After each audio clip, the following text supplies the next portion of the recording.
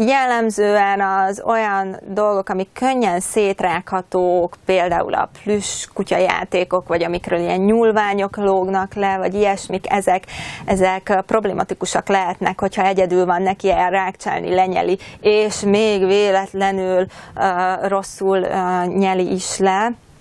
Tehát ezeket semmiképpen ne hagyjuk a kutyus előtt. Hát, ha biztosra szeretnék menni, akkor az a tömör gumilabda abban nagy kárt nem tud tenni, de vannak ilyen speciálisan nehezen szétrágható játékok,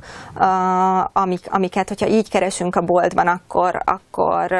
azokkal meg lehet nézni, hogyha úgy játszik a kiskutya, hogy tényleg nem tud belőle lerágni darabokat, akkor, akkor azzal akár ott is, otthon is lehet egyedül hagyni. Ki kell tapasztalni amúgy, hogy, hogy mennyire rágja szét a dolgokat a, a kutyus. Um, vannak egyébként olyan kutyajátékok is, ilyen gumijátékok, amit bár könnyű szétrágni, de hogyha lenyeli, akkor sem, sem lesz tőle baja, tehát ilyeneket is, ilyeneket is lehet nézni. Ha pedig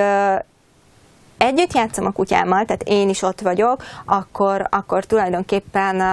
működhet nagyjából még egy összecsomózott zokni is, ha meg tudom akadályozni abban, hogy ő ezt lenyelje, ergo, hogyha én megkérem, hogy ő ezt tegye le, akkor, akkor le is teszi, tehát itt, itt az is lényeges, hogy egyedül szeretném, hogy a kutyám azzal a dologgal legyen, vagy, vagy uh, én is ott vagyok vele, és figyelek rá, hogy, hogy normálisan játszom.